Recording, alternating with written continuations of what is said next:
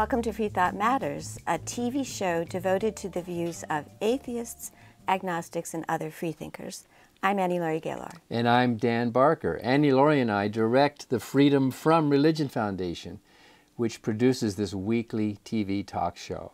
FFRF is the largest association of non religious Americans. We also work to safeguard the constitutional principle of the separation between state and church. Don't let fundamentalism engulf America. Please join us at ffrf.org so that reason and our secular constitution will prevail. We have a fascinating guest today, the photographer and filmmaker Chris Johnson. Chris Johnson is the author of a gorgeous coffee table book. It's called A Better Life 100 Atheists Speak Out on Joy and Meaning in a World Without God and he's the producer of the accompanying film, A Better Life. Well, thanks so much for joining us today, Chris. Thanks for having me. So, to make this book and this film, you traveled all over the world and you interviewed and photographed and, and taped a hundred atheists talking about their lives. So, yeah. what prompted this book? Why did you even think about doing this? Well, basically, you know, uh, so many places across the world um, atheists are under attack. I mean, here, in, even in the United States, um, it's, it's, it can be um, a risk to your life if you're an atheist. And we really need to dispel a lot of these stereotypes and misconceptions about what it means to be an atheist. So many people hate atheists. So many people hate what we don't believe in, right? So many people um, have these misconceptions about who and what we are. And I think part of dispelling that is showing how wonderful and amazing our lives can be without God. Or if they don't hate us, they think they tolerate us like we're something wrong with right. us. We, we can't really be good without their religion. But, right. But you're right, in some countries there's actual overt hatred and and violence. Yeah. I also think it really matters. I mean, I think these questions are important questions you know, if this is the only life we have, it matters how we live it. If people are going to only live their lives based on uh, a reward in the afterlife, that's going to fundamentally change how they live their lives. And so I think it's important for us to stand up and say, we're atheists and this is how we see the world. This is how we want to live our lives. So the subtitle of your book is 100 Atheists Speak Out on Joy and Meaning uh, Living Without God. Yeah. Uh, which I love. But so this is more than just um, talking about atheists and atheism. It's also kind of debunking myths, as you said, about atheists. So how did you come up with that idea?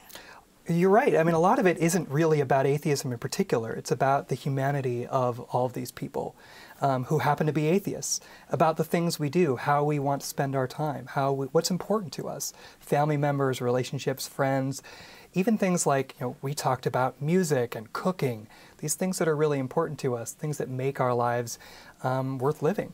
So why don't we look at the trailer for the film, the accompanying film for your book? Okay. Atheists don't like our happiness. They don't want you to be happy. They want you to be miserable. They're miserable, so they want you to be miserable.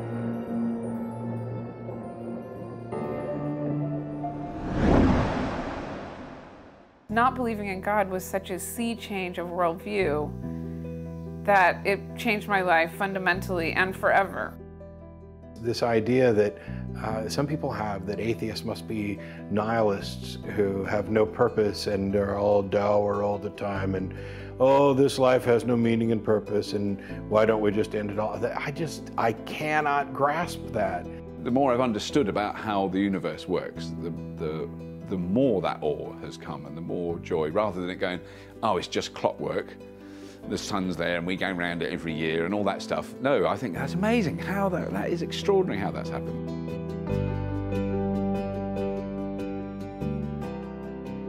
Since we can contemplate ourselves and we are made of the stuff of the cosmos, by transitive properties, we are a way for the cosmos to know itself. I certainly feel more liberated. That's, a, that's amazing.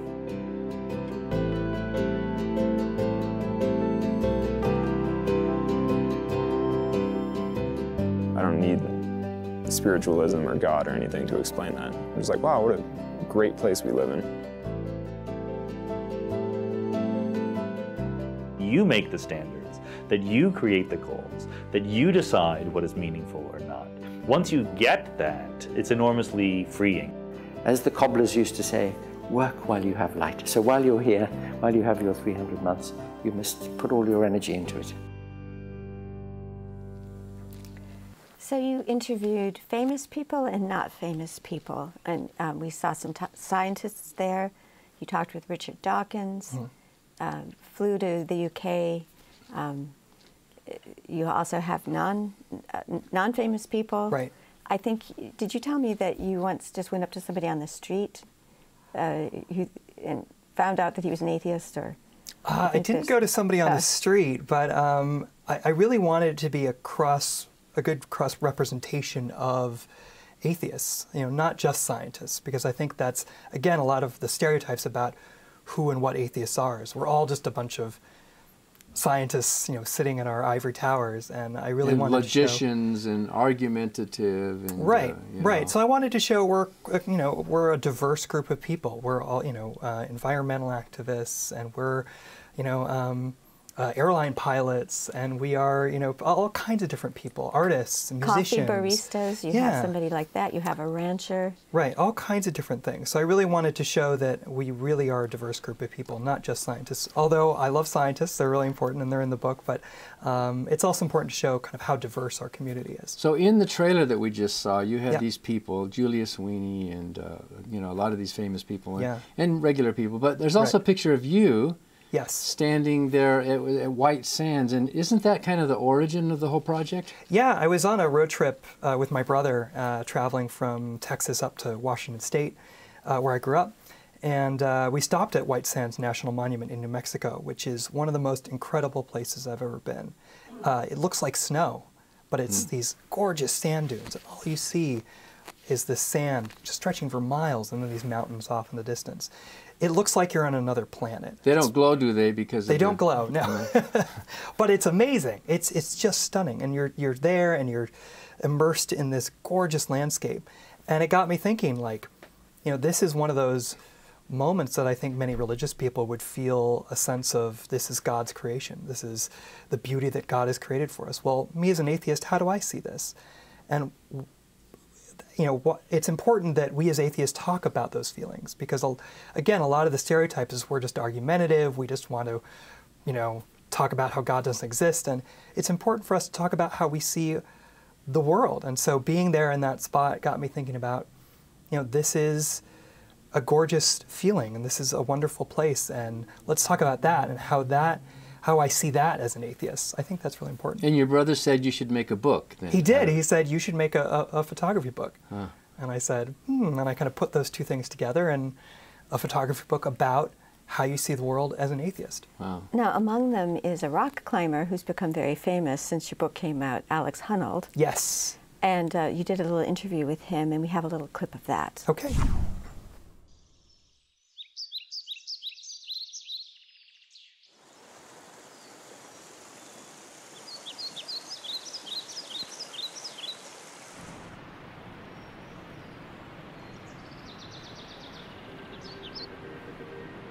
My name's Alex Honnold, and I'm an atheist rock climber. I love rock climbing, I love being outside, I love traveling, um, and I guess I find meaning in all those things. Well, I come back to Yosemite every, pretty much every season, every spring and fall, um, just because the walls are huge, the, the, the cliffs are really inspiring, the weather is really good, it's also really convenient, it's kind of close to my home. I mean, there are a lot of things that draw me here, but um, I mean, it is like legitimately some of the best climbing in the world. I was taken to church for maybe like five or six years as a kid that I can remember, and at no point did I ever think that there was anything going on with church. I just always saw it as like a bunch of old people eating stale wafers. You know, I was like, that's totally weird to me.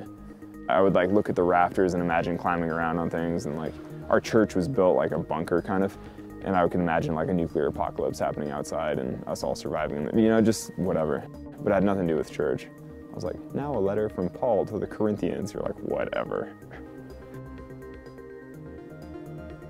Yeah, for sure I've had moments of, you know, sublime bliss, whatever you want to call it. Like, generally in places with epic vistas, you know, or on top of some mountain or Or sometimes after a hard day of climbing or something, you get to the top and it's sunset and everything looks magical. And you know, for sure, I've had some magic moments like in nature. I mean, I've probably had more moments like that than most, really, because I live in places like this all the time. You know, and I'm like outdoors doing this kind of stuff all the time.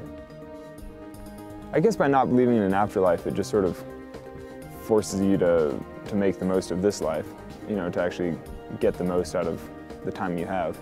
And uh, I probably have, I mean, that probably has affected the way I live my life a little bit by really accepting the fact that I'm just another animal on the earth and that I will die in my time and that, you know, I only have a limited amount of time and I have to use it. So you interviewed Alex uh, before his big movie came out, the Free Solo movie, Yeah. award-winning movie. Yeah. And didn't know at the time. And what he said there about how we, you know, we're going to die someday. Well, one of his mountain climbing friends just did fall off a mountain in Mexico, but he knew the risk and he Mhm. enjoyed the life. So imagine living your life at that edge and enjoying it so much, like Alex did. Yeah, I mean, I think he's really an inspirational person. Um, I mean, Alex is one of those people who, not only is this is he this incredible athlete, but he is just brilliant and and interesting and curious about the world, and really a wonderful person to sit down and talk to. And pretty funny.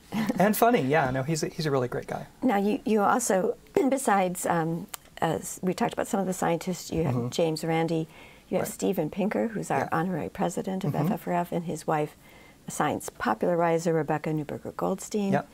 Um, James Watson. Randi. Yeah.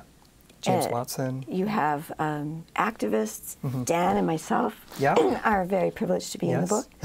um, Maryam Namazie, who's Mhm. in uh, One Law for All in London. Right. Um, Margaret Downey. Right. Hemant Mehta. Mhm. So a real cross section. Yeah, I mean, again, that's one of the things I really wanted to do with the book was really show a diverse group of people. Yeah.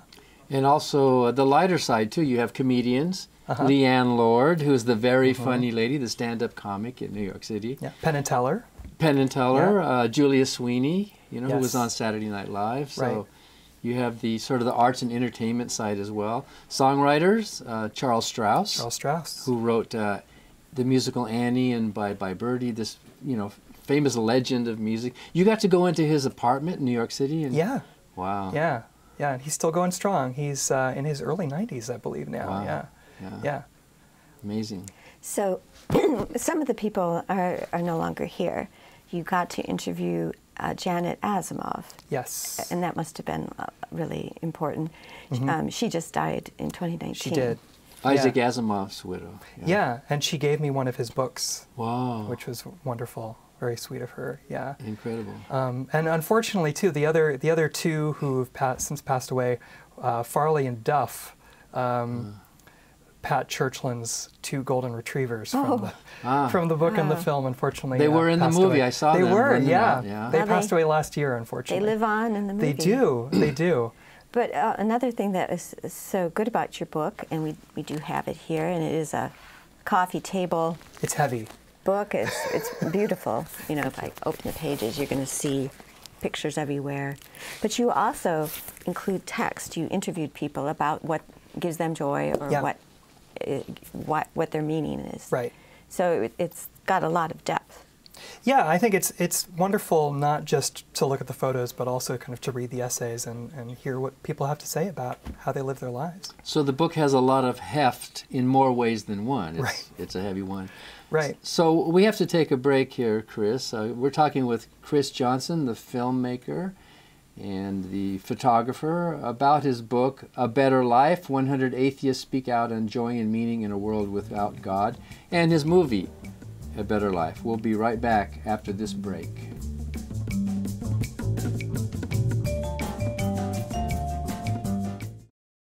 Hi, I'm Ron Reagan, an unabashed atheist, and I'm alarmed by the intrusions of religion into our secular government. That's why I'm asking you to support the Freedom from Religion Foundation, the nation's largest and most effective association of atheists and agnostics, working to keep state and church separate, just like our founding fathers intended. Please support the Freedom from Religion Foundation. Ron Reagan, lifelong atheist, not afraid of burning in hell. I'm Doug Hinahara, and I'm an out of the closet atheist. I consider myself fortunate in that I wasn't raised in an overly religious family. So I was allowed to think for myself. And around the time I was 17, as I was exploring these ideas of religion, I was told by a fundamentalist Christian that my grandmother, who had emigrated from Japan, was destined to eternal damnation because she was a Buddhist. And I couldn't accept that, and it kind of unraveled from there for me. So at this point in my life, I've been, become very comfortable with the idea that I don't need religion uh, or belief in God to be a moral person and live an ethical life. I'm proud of the fact that I have two daughters who have grown up to be wonderful young women, and I'm proud to say also atheist.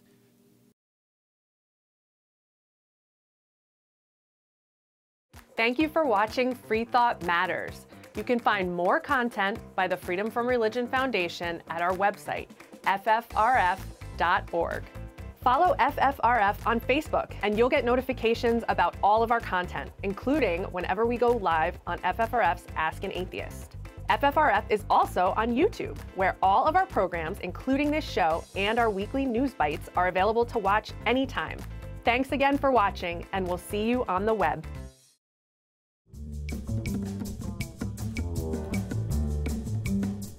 And welcome back to Free Thought Matters. We're speaking with the photographer and filmmaker Chris Johnson about his inspiring book, if I can borrow a word, an inspiring book and a movie, A Better Life 100 Atheists Speak Out on Joy and Meaning in a World Without God. So, Chris, before we uh, play a clip of Julia Sweeney, a very poignant interview with her, I did want to ask you a little bit more about your personal background with religion. Sure were you brought up free from religion or did you escape? It's one thing I'm very, uh, uh, very grateful for for my parents is my brother and I were raised uh, really without any religion at all.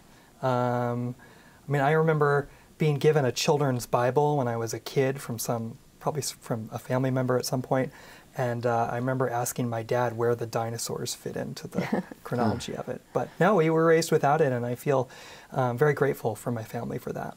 Yeah, me too. I had the same nice experience. Now, Julia Sweeney was raised Catholic and yes. was very devoted to Catholicism until she took a second look at religion. Mm -hmm.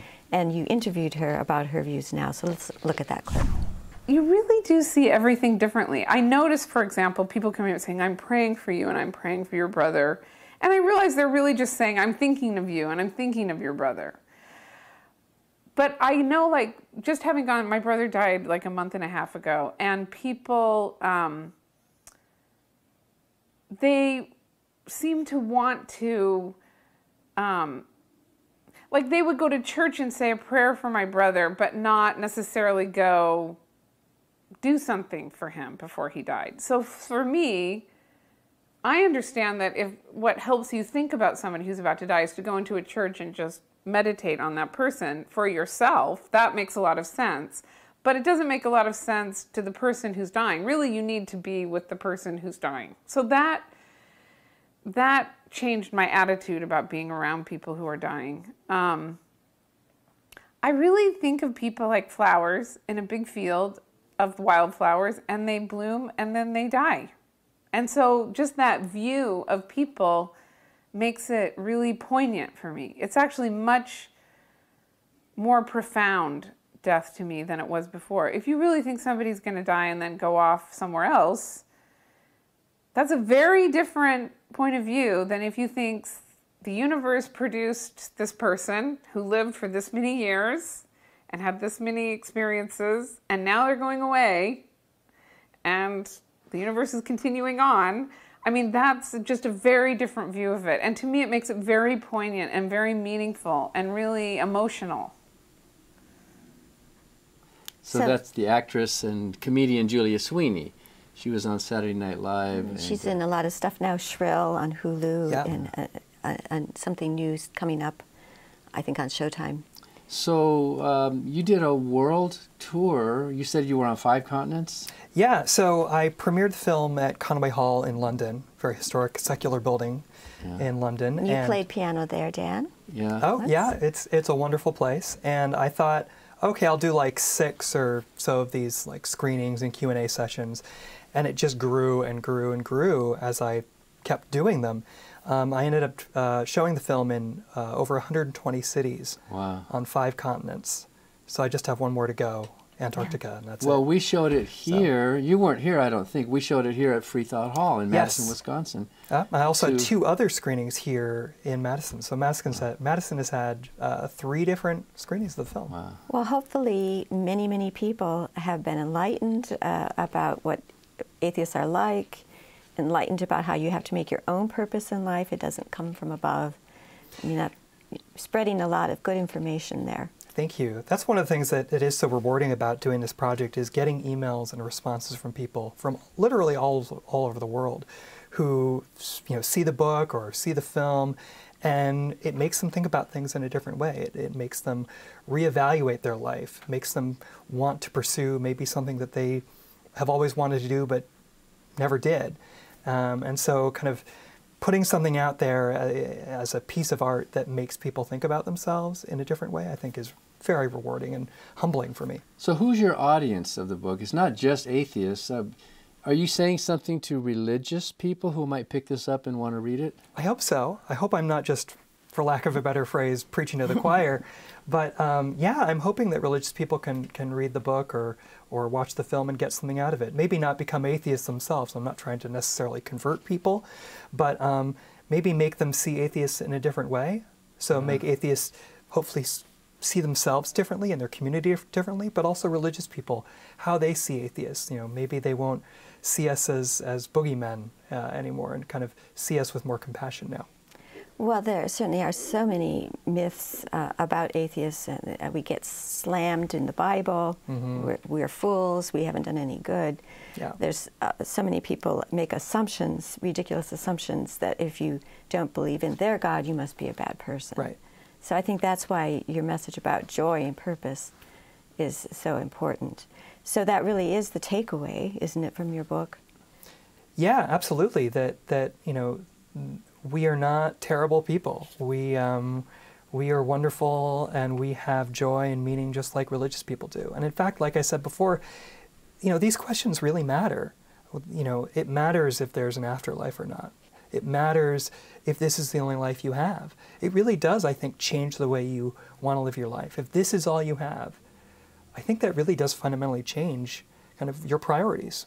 And you, you told us that a Christian minister read your book and had a comment about how he wanted to show the film to all his friends or something. Yeah, I was doing a screening of the film in Phoenix, Arizona, and uh, during the Q and A, a guy stood up at the end and said, "Hey, I just want to let you know I'm a, a Christian. I'm actually a pastor here in Phoenix, and I just want to thank you for changing the way I think about atheists." Wow, it was And- amazing. To get back to what Ju- Julia was saying, uh, this very, as you say, it's very important whether there's an afterlife or not, how, how you lead your life. And Emily Dickinson said, um, because it doesn't last, that's what makes life so precious. Right. So I think that many freethinkers, non-believers, do have a very different perspective on living in this world. And of course, you've also shown the diversity of musicians and scientists and authors and activists who are making this world better. Right, right. So, um, you're a busy person, taking pictures Yes. and uh, making movies. You're working on a new project now.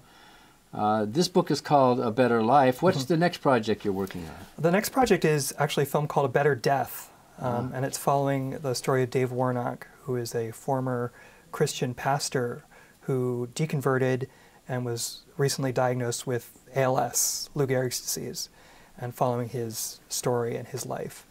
So it's kind of a companion piece in a sense to the to the other film. This one is talking about how we see our mortality as atheists, how we see death as as atheists. Yeah, because when I was a preacher, I used to say that if you don't have a faith in the afterlife, you're nihilistic. It's meaningless. You have the despair, and you're going to die with emptiness. And yet we know that's not true. And you're actually mm-hmm. going to film. You're filming what?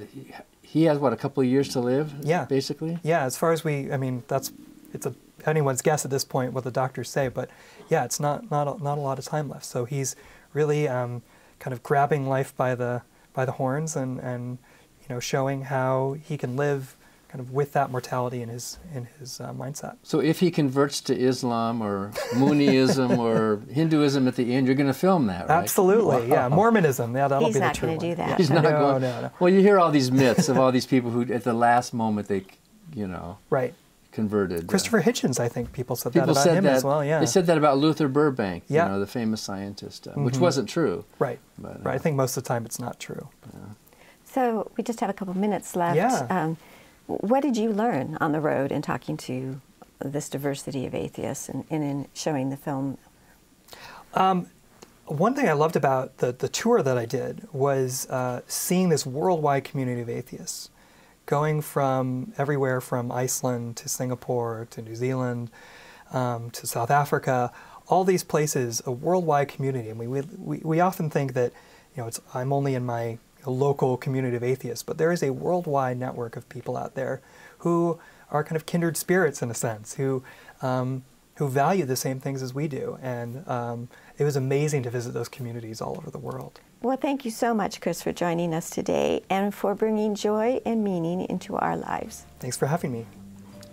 The book is A Better Life 100 Atheists Speak Out on Joy and Meaning in a World Without God. Thank you for watching Free Thought Matters. Because free thought matters.